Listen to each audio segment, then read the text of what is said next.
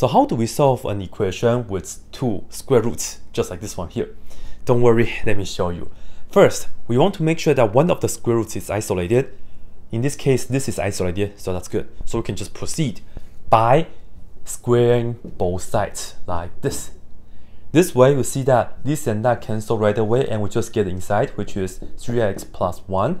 And then on the right hand side, 2 plus square root of x plus 1 square. Make sure that we multiply it out correctly. And we'll be using the formula right here.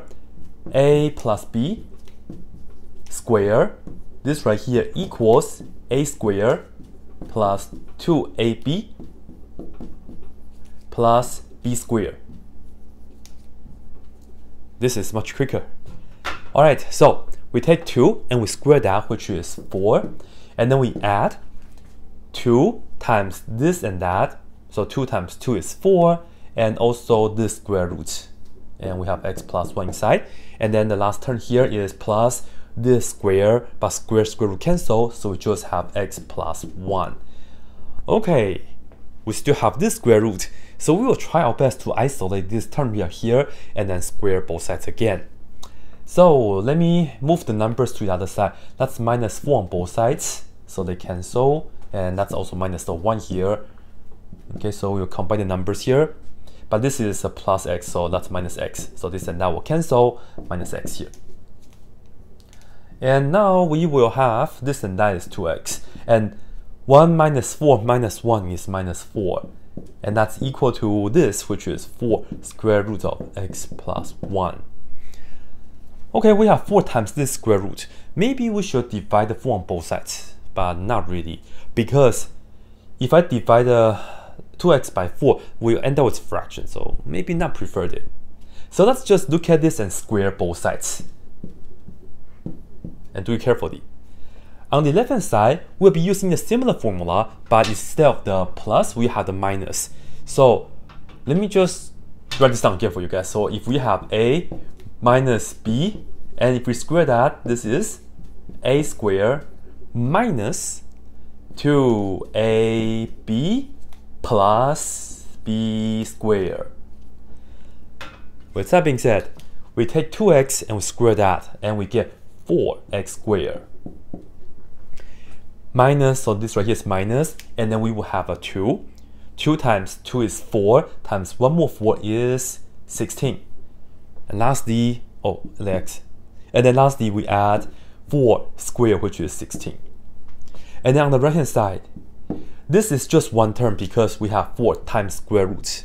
So this right here, we don't have to do the things that we did here because we can just distribute the power.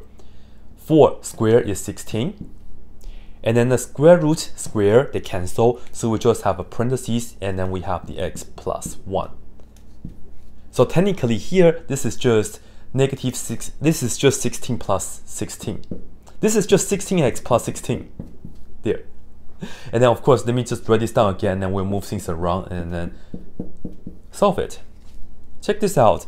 I will subtract 16 here. So that way we can get rid of the numbers. And then that's also minus 16x.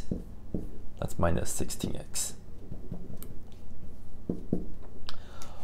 And we will have this, which is 4x squared, and then minus 16x, and then minus another 16x. So that's negative 30, minus 32x. And this and that is 0, so it's out, and we have it equal to 0.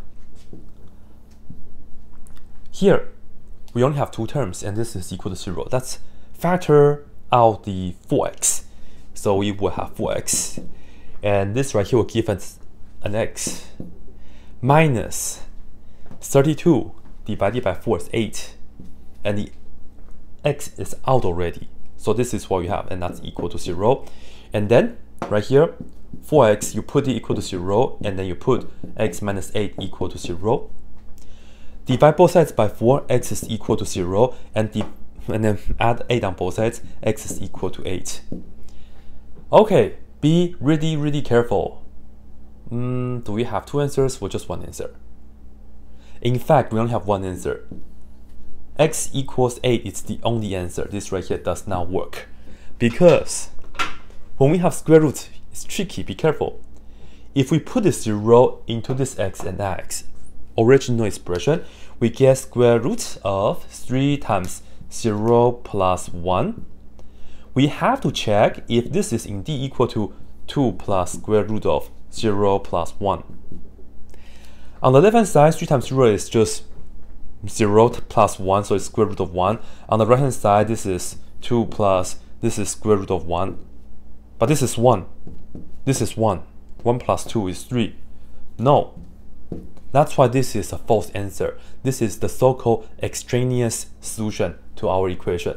And whenever we square both sides, while solving a square root equation, this kind of things might happen. So be really, really careful. And I will tell you, if we put 8 into here and here, let's do this real quick. 3 times 8 is 24, plus 1 is 25. Square root of that is 5. Put 8 in here. 8 plus 1 is 9. Square root of that is 3. 3 plus 2 is 5. So 5 is equal to 5. So this right here indeed checks. This is the only solution. Eh? This is the only solution. So be really careful and yeah, good luck.